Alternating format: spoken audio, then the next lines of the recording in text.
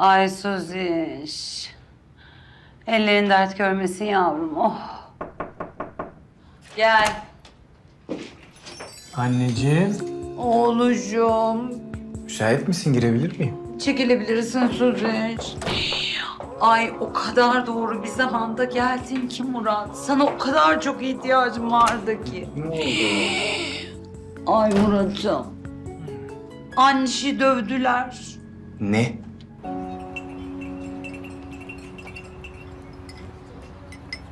Ay Murat ben seni anlamadım oğlum. Hay neden konuşamıyorsun bu şarkıcı kızla? Anne kız şarkıcı değil. Sen beni dinlemiyor musun? Boşuna mı konuşuyorum ben? Al kızı karşına konuş işte bitti. Hem kız profesyonel değil diyorsun. Ver eline üç beş dolar. Olsun bitsin işte.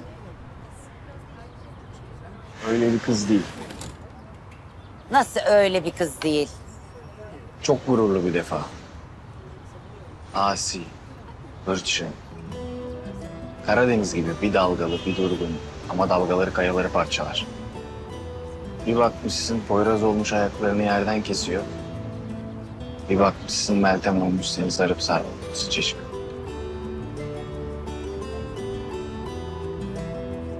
Oğlum. Sen aşık olmuşsun.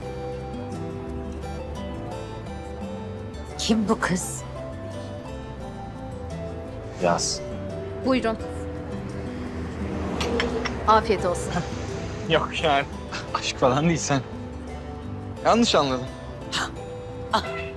Ha ben seni yanlış anladım.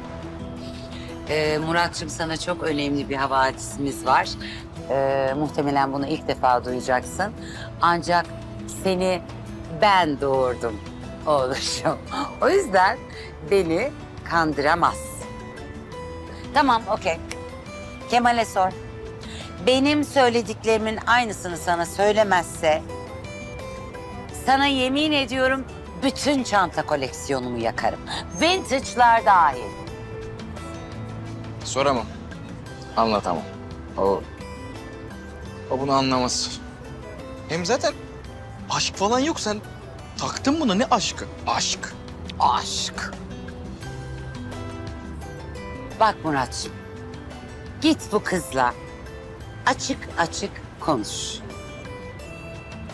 Artık aşk mı konuşacaksın? İş mi konuşacaksın?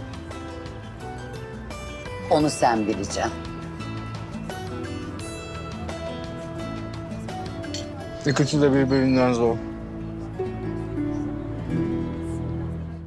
Daha fazla video izlemek için kanalımıza abone olabilir. İlk izleyen olmak isterseniz bildirimleri açabilirsiniz.